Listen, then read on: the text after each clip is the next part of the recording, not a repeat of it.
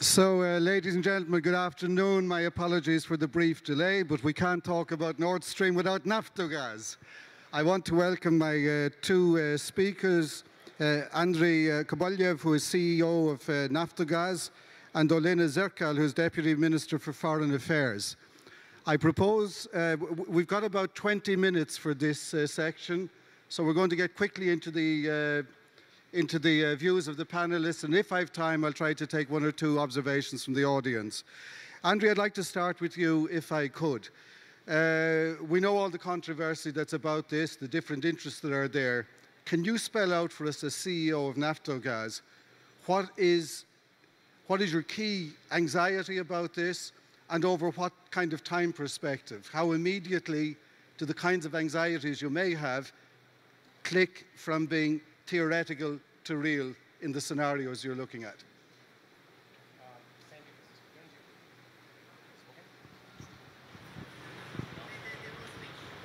Hello? Oh, yes. Uh, thank you for the opportunity to speak here.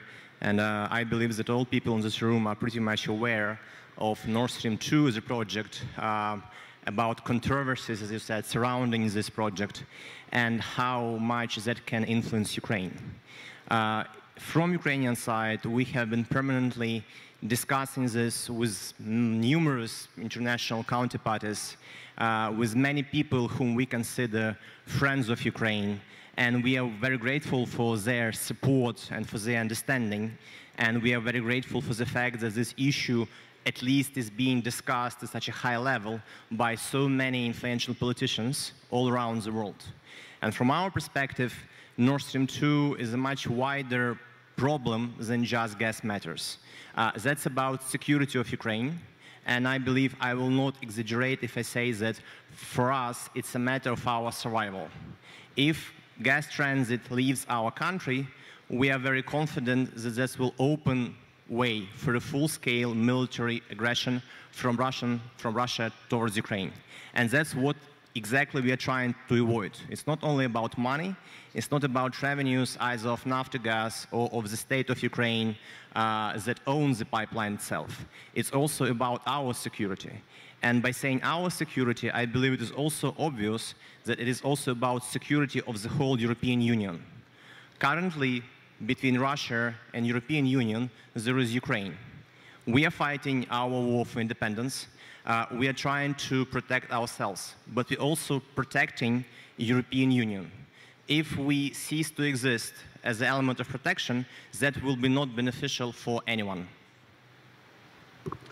Thank you for answering with the security answer. I want to come back to the economic question and just talk me through what those perspectives look like. Uh, you, you, you say you will lose the transit. Talk some numbers, give me some sense of scale, and give me some sense of timeline. Uh, sense of scale is, again, quite obvious. It's 3 billion US dollars per year. That's currently the revenue uh, we are receiving for transit of Russian gas through the territory of Ukraine. Uh, if Nord Stream 2 would be, its construction would be launched somewhere around today, uh, I believe that within two years the project may be completed. Uh, and as soon as project is completed, uh, all calculations uh, show that there will be no transit through Ukrainian territory. Uh, some of the gas will be moved to Turkish Stream. The remaining part will be moved to Nord Stream 2. And I am um, always um, smiling when people are trying to bring the argument that Ukraine would be competing with Nord Stream 2 through tariffs, through different conditions, or whatever, and that uh, it's not a kind of lost battle. No, it's a lost battle. If we look at Nord Stream 1, is a good example of something which already exists. At the time when the project was built, Ukraine had the lowest transit rate through all European countries. Still, the project was created, and all volumes of gas which were sent through Nord Stream 1 were deducted from our system. So for us, effect will be very quick and I would say detrimental. For, again, number-wise, 3 billion US dollars, approximately 3% of our GDP. That's a big number. Okay. Thank you very much for that. Um, Olena, I want to take the case we've just heard and wonder how are you projecting it? Where are you delivering your message? And what progress, if any, do you think you're making in convincing people not just of the validity of your case, but to change their minds? Oh, thank you for such a considerable question. But the matter of fact is that the topic of Nord Stream 2 became highly discussed and highly raised on different forums for four years. But now it's a matter not only for Ukrainian security, but also I want to echo Andrei and say that it's also about European security, and it also can be considered as a threat to Europe as such, as a project. Because firstly, we have an experience in Azov Sea, and we know how Russia can increase its military presence because of construction and functioning of the Kerch Bridge. And the same situation might happen with Baltic states and with Baltic Sea as a consequence of construction of Nord Stream 2. This is the first topic. And the second topic about the unity. About the unity and readiness of European Union to pursue the same policy, the same policy concerning companies, which actually are using by the Russian government as a tool and as a tool which pursuing Russian policy, which can be easily accommodated as a weapon and used as a weapon against any state in Europe. And this, for us, is a crucial issue. And I don't think this is only a crucial issue for Ukraine, but also for the European Union as such.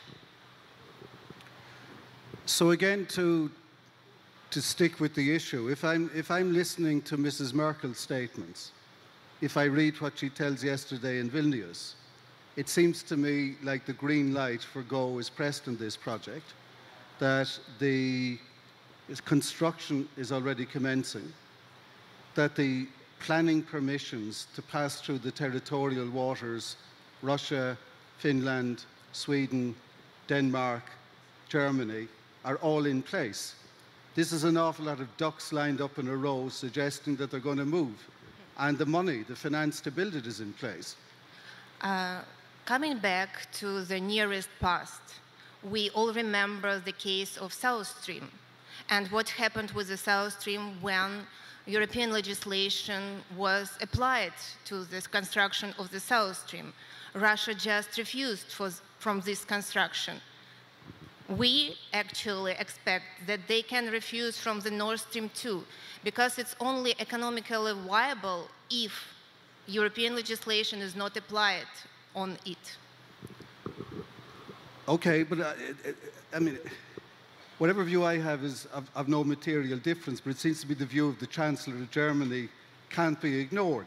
And I haven't heard her offer a view. She does express concern about Ukraine, she does say she wants the Russians to deal with transit through Ukraine, and she does say it in the context of insisting that Nord Stream 2 still makes economic sense and that it's an economic project. And these are her words, not my words. Andrei.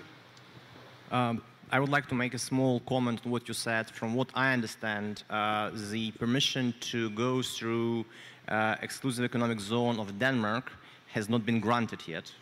Uh, and the option which is currently being considered by consortium is to circumvent uh, this zone by going through a different route.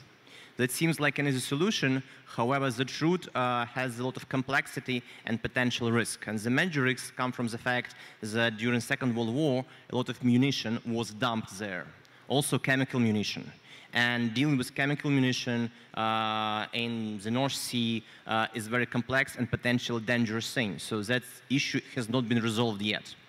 Uh, speaking of Germany and speaking of German position, um, it has been always a big surprise to me because if you look at position uh, of German government, uh, they have been permanently insisting that third energy package should not be applied to Nord Stream 2.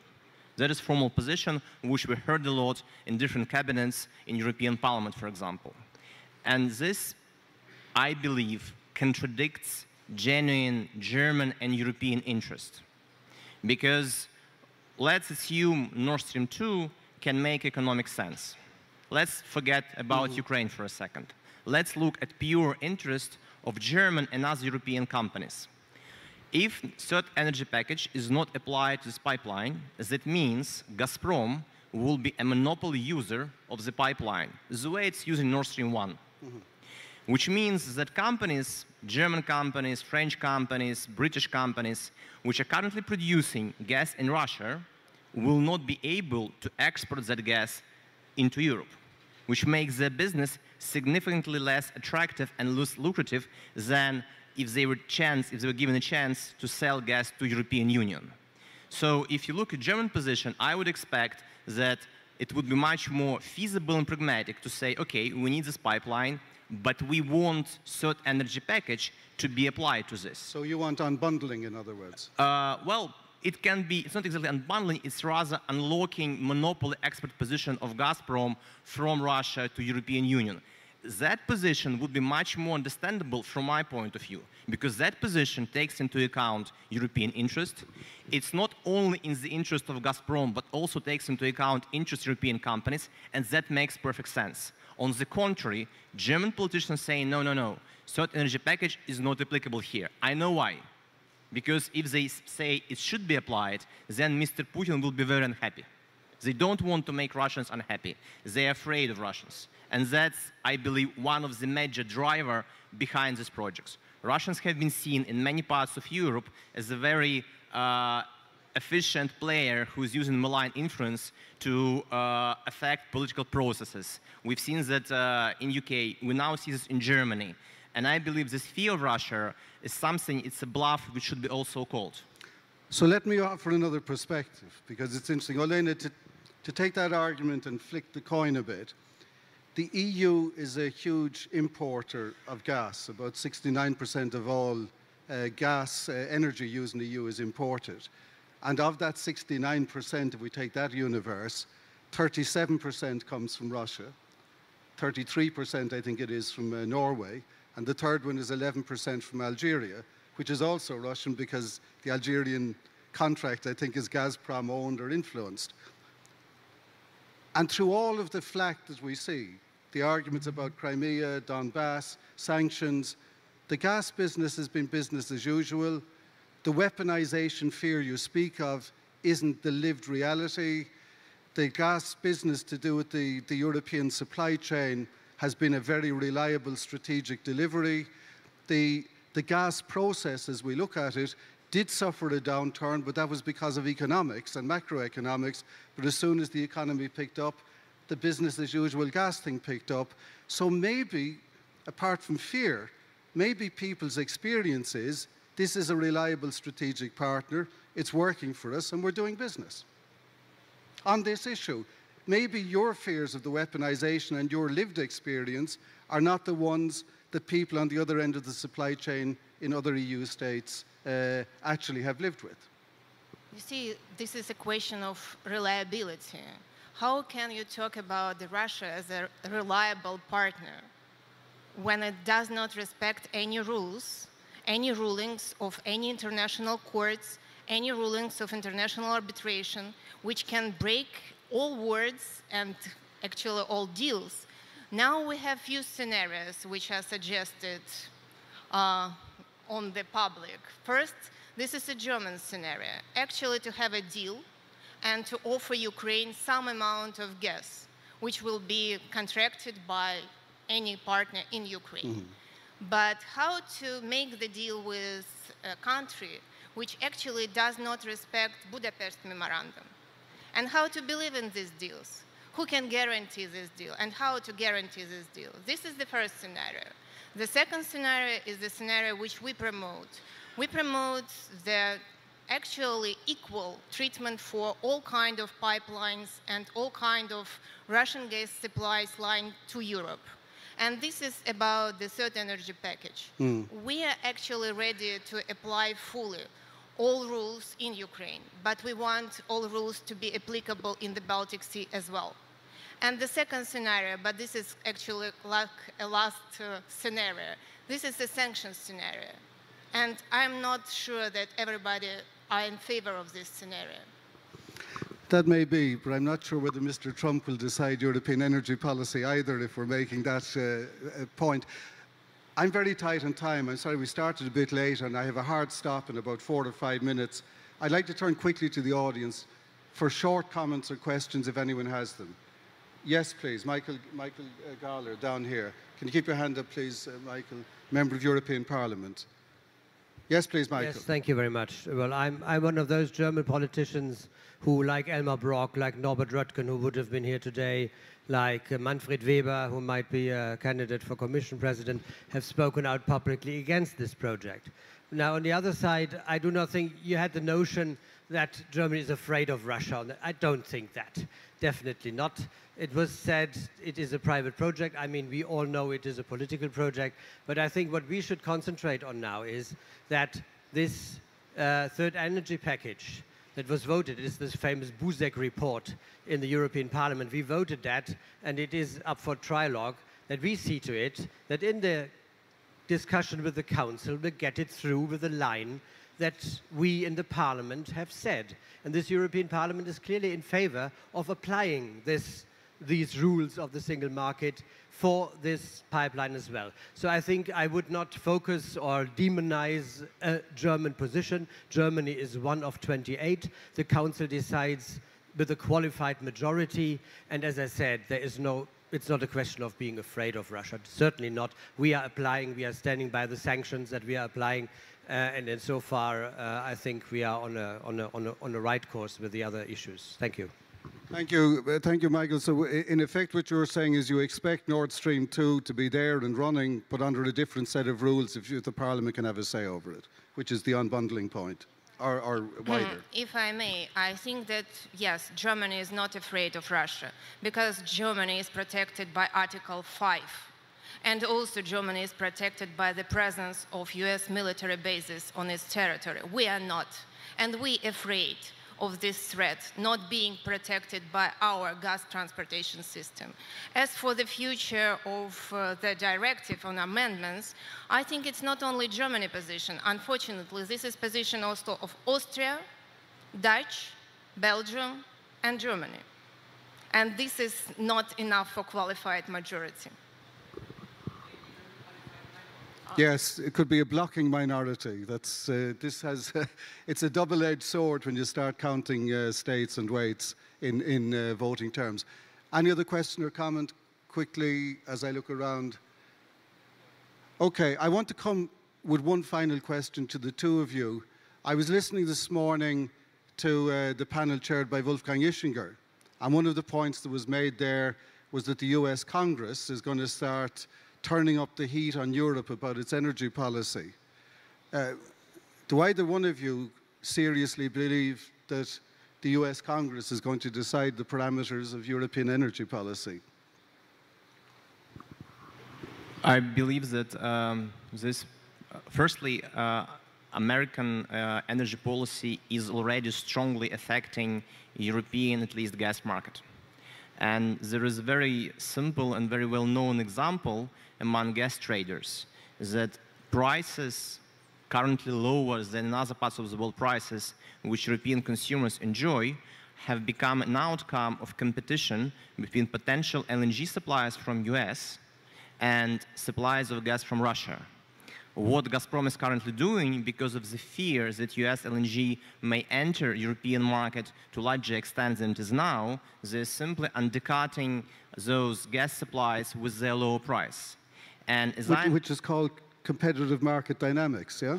Uh, it depends on how you look at this. If you look at this, that Gazprom already is approximately roughly 40% of European um, imports, that can be also perceived or considered uh, as an abuse of dominant market position. And the point which I hear from US colleagues is very simple. We would like to have fair and equal treatment we understand that Gazprom is currently a very strong incumbent, which does not allow other players to enter the market. And this is not the right thing to have. It's very simple.